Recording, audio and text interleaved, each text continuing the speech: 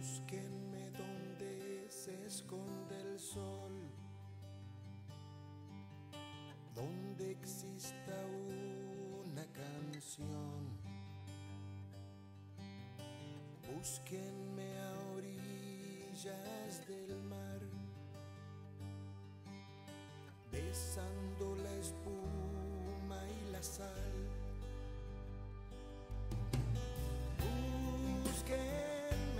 Bien, vamos a darle una recorrida a los aulas y al interior de la escuela en este momento.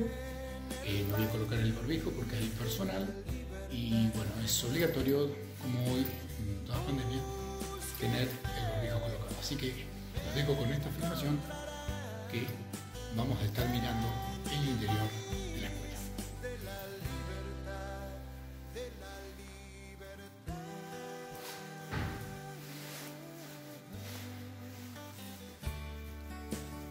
es una de las aulas de la escuela.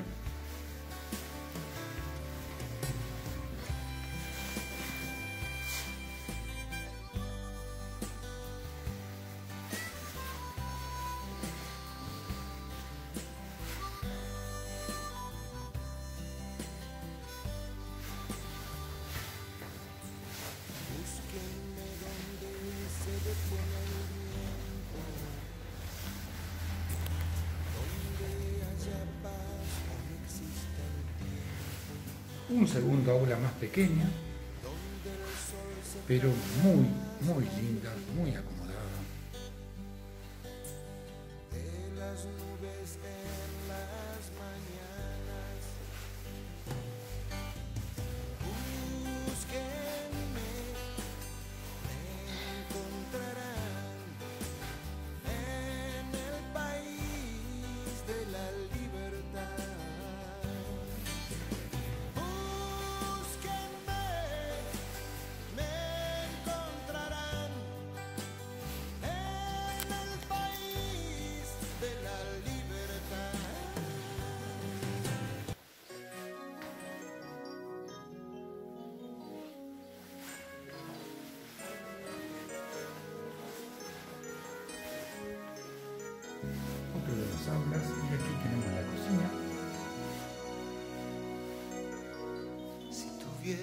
Que vivir mi vida solo, serían días tristes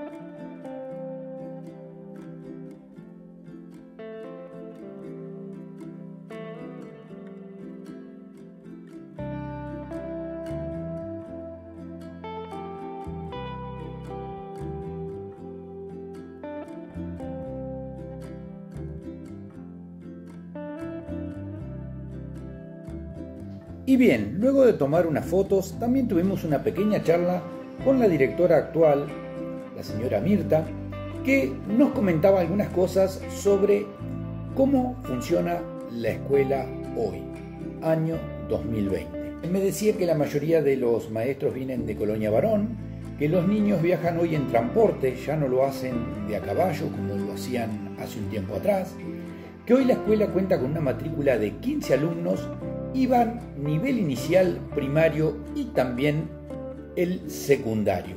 En noviembre del 2019 se jubila la directora eh, antigua que estuvo 25 años y, hoy, desde el año pasado, eh, la reemplaza la señora Mirta que mm, ya estaba trabajando hace 13 años en esta escuela y que nos atendió muy amablemente, se prestó para eh, darme esta, esta, pequeña charla, esta pequeña mm, conversación que tuve con ella y contarme algunas cosas em, de la institución. El personal docente que hay hoy es, incluyendo al director, tres docentes. Es una escuela de grado 3 donde el director también da clase en una de las aulas y es una escuela de jornada simple. El horario que cumplen los chicos es de 8 a 12 y cuarto y lo que sí, luego las familias vienen a retirar o a buscar a los chicos. Lo que sí se les da a la mañana es un refrigerio para que los niños puedan en, esa, en ese tiempo, en ese lapso que están, eh, por lo menos tener su taza de leche. Hay tres aulas en la escuela, como han visto en los videos y en la foto. Dos de ellas se utilizan, mientras que hay una tercera que se deja para cuando la escuela es visitada por maestros itinerantes, sobre todo en el eh, nivel secundario que se da.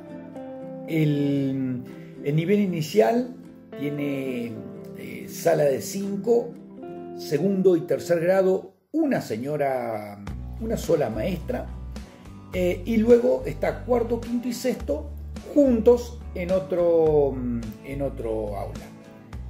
Todos los chicos, y esto es lo bueno, es que todos los chicos de la matrícula que tiene esta escuela son todos de la zona, no vienen de otros lugares. Y bueno, también le preguntábamos cómo hacía para recaudar eh, fondos la cooperadora hoy con estos tiempos tan difíciles. Bien, en la escuela de Inés Carlota, los días o las fechas patrias del 9 de julio hacen lo que se llama la cena de los ravioles. Esta es ya una fiesta que vienen haciendo hace muchísimos años y que es tradicional ya en la colonia y que viene gente de toda la zona, de Mayer, de Anguil, de Barón, pero principalmente de Santa Rosa, y bueno, una particularidad es que la tarjeta se vende con eh, un costo muy bajo, hay canilla libre, aparte de los ravioles que se hacen, también hay baile. Obviamente estamos hablando en años no de pandemia, sino en años normales. Y bueno, y también le preguntábamos a, a Mirta qué era hoy lo más difícil que tenía la escuela en estos tiempos. Creo que en esto acordamos todos los docentes que estamos trabajando en las escuelas y siempre es la conexión con los chicos. Sabemos que no es eh, pareja para todos, eh, muchos no cuentan con los medios tecnológicos y que no se desvinculen de la escuela. Bien gente, esto es un poco lo que pudimos charlar con la señora directora Mirta, con estaba también la señora Elsa, que era portera, eh, y nos han aportado cierta cantidad de material para que podamos compartirlo con todos ustedes. Entonces, eh, esto lo quise hacer desde mi casa, mucho más tranquilo, para brindarles a todos ustedes algo más de la escuela 87 de Colonia, Inés y Carlota, que hoy tiene ni nada más ni nada menos que 106 años. Así que seguimos viendo algo más y hasta aquí llegamos con esto.